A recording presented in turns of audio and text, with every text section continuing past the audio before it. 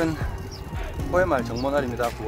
코스는 포항 영일대 수욕장에서 출발해서 지금 보경사 쪽으로 가고 있습니다. 중간 급류지는 7포 그리고 월포 해수욕장에 잠깐 쉬고 지금 보경사에 백숙 먹으러 가는 중입니다. 같이 한번 날이를 즐겨보시죠. 택시를 타고 갈 수 있을까? 六。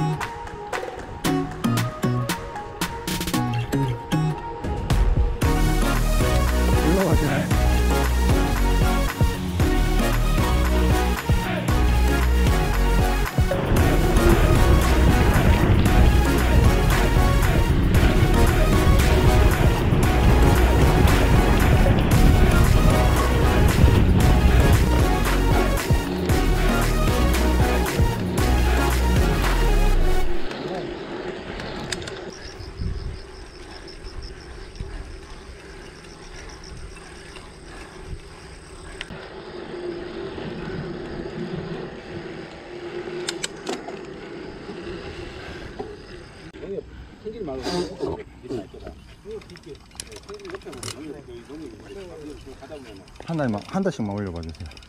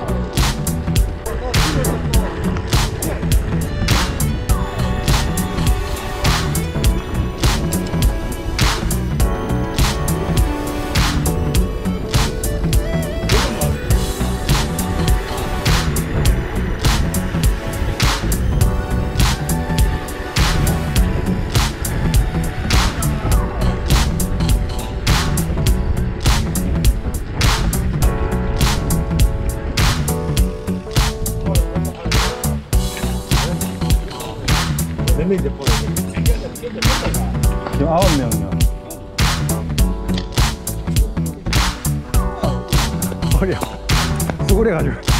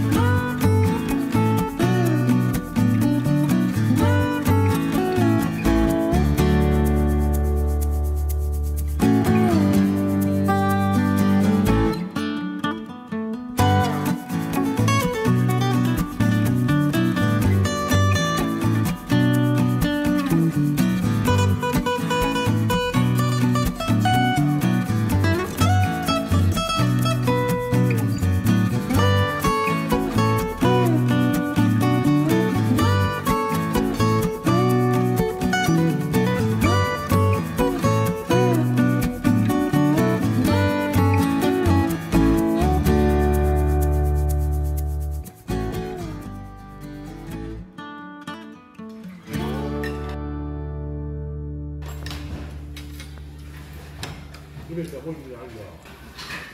열심히 잘하니까.